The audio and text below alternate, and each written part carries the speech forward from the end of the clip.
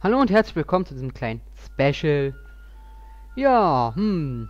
Viele Leute von euch wissen, gar, wissen wahrscheinlich gar nicht, wer Yoko Shimomura ist, aber ich werde es euch verraten. Sie hat unter, sie ist eine japanische Videospielekomponistin, die unter anderem die Musik zu Kingdom Hearts zu allen Teilen komponiert hat, an Street Fighter 2 mitgearbeitet hat, an Legend of Mana, an der kompletten Reihe, oder beziehungsweise an den meisten Teilen, und an Final Fantasy 13 hat sie mitgearbeitet und hat die Musik geschrieben. Deswegen auch dieses kleine Video, und bevor es jetzt losgeht mit, dass man mich flamen müsste, nein, ich bin kein Fanboy. Ich dachte mir nur, ähm, ein bisschen Background-Infos, das ist ein Let's Play-Channel, da kommt es doch mal ganz gut, wenn ich sage, hey, ähm, alles Gute zum Geburtstag Yoroshi Momura. Oder auch auf Japanisch, Omedeto to Karaina Ongaku no Tame no Oku no Kanasha, äh, no Kansha. Oder auch auf Englisch, Congratulations and many thanks for the brilliant music. Also, ja, herzlichen Glückwunsch und vielen Dank für die geniale Musik halt.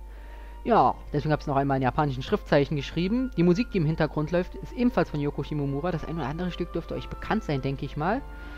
Zumindest das zweite, was ich noch einspielen werde, dürfte euch bekannt sein. Ja, wie schon gesagt an der Stelle einfach mal herzlichen Glückwunsch, Yoko Shimomura, und vielen Dank für die geniale Musik in all den Jahren. Hm.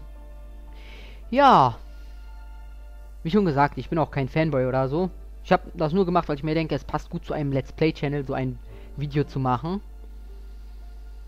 Und ja, viele wissen auch gar nicht, wie sie aussieht, deswegen habe ich auch dieses Bild hier eingeblendet, beziehungsweise ich werde es gleich einblenden.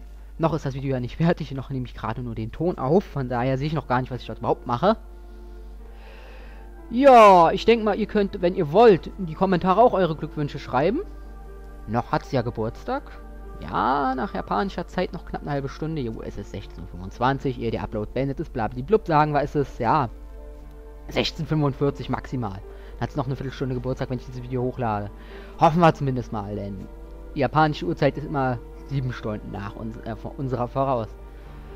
Ja, an dieser Stelle vielen Dank fürs Zuschauen. Ähm, ja.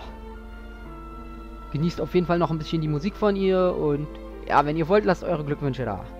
Danke sehr.